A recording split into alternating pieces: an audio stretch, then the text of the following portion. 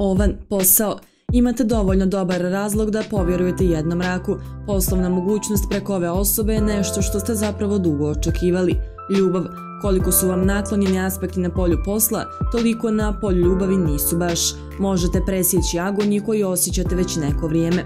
Zdravlje, problem sa kostima. Bik, posao. Isuviše vas posmatraju i mjere svaki vaš poslovni korak koji činite. Poslušajte savjet iskusnijih kolega i pokušajte da se dovoljno dobro informišete kada su vaši zadaci u pitanju. Ljubav, niste se obradovali nečijem povratku, neko je sa razlogom bio bivši i vi to dobro znate, nećete ponavljati stare greške. Zdravlje, osjećate se dobro. Blizanci, posao.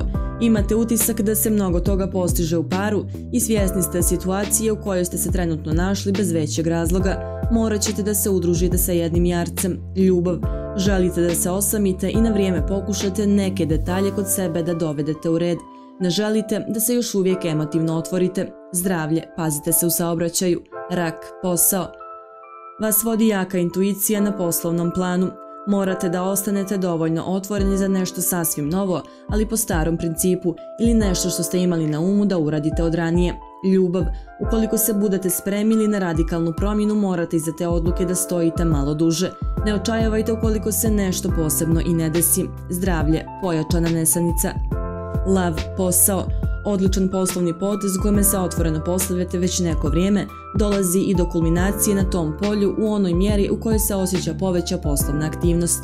Ljubav, osjećate da ste se zaljubili, ne možete da se otrgnete tom utisku i pokušavate da dominirate što vam se ne savjetuje u periodu pred nama. Zdravlje, pojačano lučanje, hormona sreće, djevica, posao, u poslu kojim se otvoreno sarađuje sa inostranim kolegama može da vam donese ozbiljniju sumu novca, ali isto tako i pogrešan potez i jako lošu reputaciju. Posavjetujte se sa svojim poslodavcem. Ljubav, sklonost, flertu i alkoholu može da vam napravi mali problem. Postavite se otmijenije pred novim izazovima na polju ljubavi. Zdravlje, unosite dovoljno vitamina u svoj organizam. Vaga, posao, Kockate se sa sobstvenim radnim mjestom, ne trpite autoritet i ne želite da spuštate ispod svog nivoa. Možda potražite novi posao. Ljubav. Osjećate se dobro u prisustvu lava ili jedne škorpije. Možete da budete skloni paralelnim vezama, što vam se u suštini ne preporučuje. Zdravlje. Više se bavite sportom.